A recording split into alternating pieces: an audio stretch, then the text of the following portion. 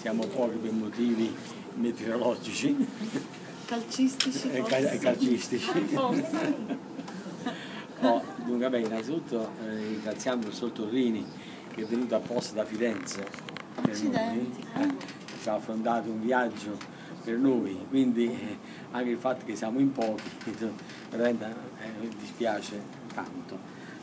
Oh, eh, il professor Torrini ha insegnato per molti anni all'Università di Napoli e si è interessato proprio di Galilei, ha scritto proprio un volume proprio su dopo Galilei, gli sviluppi dopo Galilei, della, scienza, ma poi si è interessato anche del, anche lavorato su Galilei a Napoli, ma poi anche eh, si è interessato di, soprattutto di Della Porta, di di questo stavamo parlando, ed fa, parte del comitato eh, nazionale dell'edizione nazionale del- delle opere Della Porta e, mm, e poi si è interessato soprattutto anche di eh, storia della scienza del Settecento. Quindi eh, siamo veramente in ambito eh, proprio eh, nostro. Eh, quello che mm, appunto vorrei introdurre, cioè, introducendo questo, volevo dire anche che ehm, tornando al, al film di ieri, propongo di fare eh, prima un, fare, fare un'introduzione, poi facciamo, gli facciamo delle domande e vediamo appunto di, di proseguire nel nostro discorso in maniera così familiare, non troppo accademico. Insomma. Ecco. Magari se vuoi Sì. cominciare tu, eh, presenti il film come pretesto. Voi avete visto il film, io l'ho rivisto anch'io per l'occasione perché non, lo ricor- l'avrei ricordato così bene come necessita. E il film è un film, eh, cioè dire è un non è un documentario, eh, cioè è un film in cui la- l'autore, in questo caso Diana Cavani, eh, dà una sua interpretazione, è un racconto, diciamo così, di quello che lei pensa che vada messo in evidenza nel caso Galileo. Il film, è- so se ieri è stato fatto un'introduzione, Sì, è, del una breve 60 introduzione, è del 68, 68, no? Il film è Stato prodotto, è prodotto dalla Rai Televisione, però non mai proiettato e era vieta- fu vietato a minori di 18 anni. Questo per capire il clima in cui 68, quindi non è neanche, sì, certo, è passato diverso tempo, ma insomma comunque siamo in età contemporanea. Eh? Vietata a minori di 18 anni? Perché? Perché, perché lì ci fu una grossa polemica, per questo la televisione poi che pure l'ha prodotto, non lo proiettò, non è mai stato proiettato in televisione, eh, perché c'è questo atteggiamento, diciamo, secondo i censori di polemica contro la Chiesa e, questo, e quindi questo spiega sia la non messa in onda e sia il proibito a 18 anni. Perché A quei tempi, nel 68, film proibiti a 18 anni erano rari, insomma, erano, insomma, ma in genere su questioni sessuali, non certo su questioni di carattere di questo genere. Ricordo solo forse il film di Othon Lara, Io non ucciderò, ecco, che era sull'obiezione di coscienza, eccetera, che ebbe la stessa sorte. Ma vabbè, detto questo, eh, quindi è un'opera, diciamo sì, piaccia o non piaccia, un'opera d'arte, non, è non vuol documentare. E l'interpretazione che dà la Cavani, eh, ieri avete visto, se avete visto, no, vi ricordate che una parte cospicua del film è dedicata alla figura di Giordano Bruno. E che se uno invece deve scrivere un saggio o una biografia scientifica di Galileo, certo Bruno c'è, ci sarebbe stato anche lì, ma non nella misura così preponderante che c'è nel film della Cavani, cioè la Cavani gioca tutto su questa sorta di, eh, come si può dire, di lotta, di,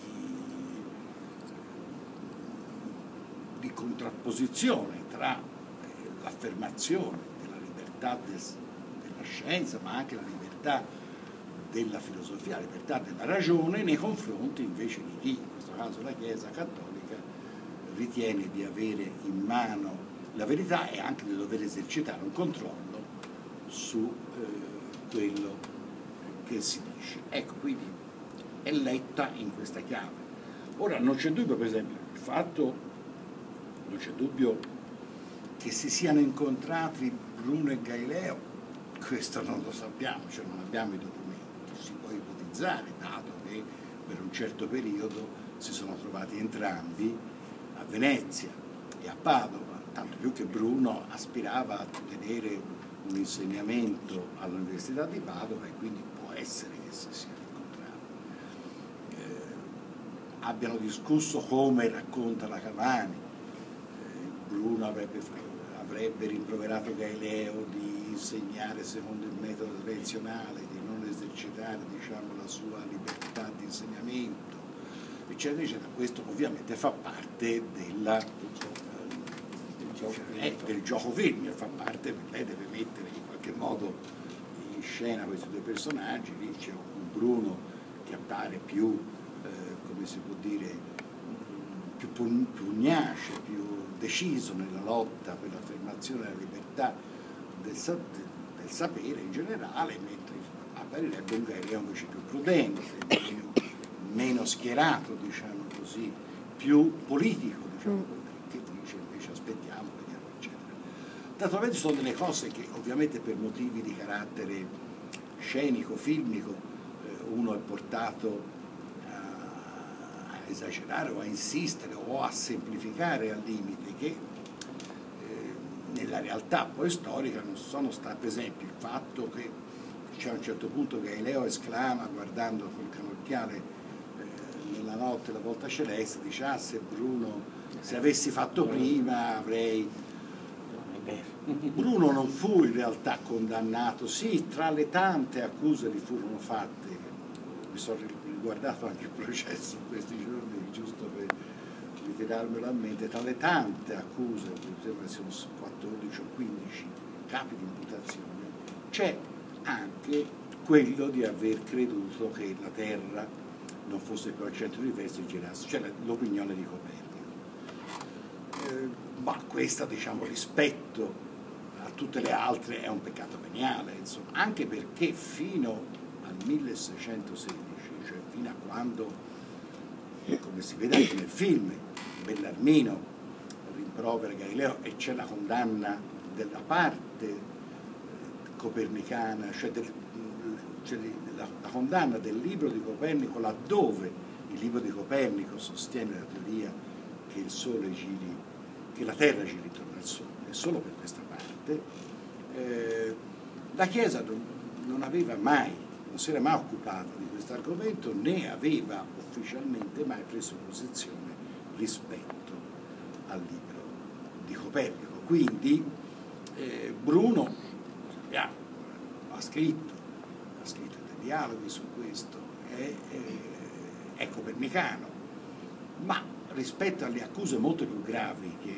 sia di carattere teologico, sia di carattere di comportamento, diciamo, di vita, eccetera, loro per condannarlo ne avevano, eh, perché effettivamente lui sosteneva delle tesi dal punto di vista teologico, ma non soltanto teologico, completamente fuori da metempsicosi, per esempio il fatto che le anime si rincarnassero, eh, che sono oggettivamente contrarie all'insegnamento della Chiesa cattolica e della Chiesa cristiana, prima che cattolica, eccetera. Quindi questo il fatto che Galileo avrebbe, dice, a un certo punto dice nel film Galileo, no? dice, ah se avessi trovato prima eh, il canocchiale avrei potuto, Bruno si sarebbe potuto salvare. Questo non è così, cioè, a parte il fatto che poi lì c'è una forzatura, perché il canocchiale, e quindi si fa riferimento al testo che poi pubblicò Galileo nel 1610, contenente le osservazioni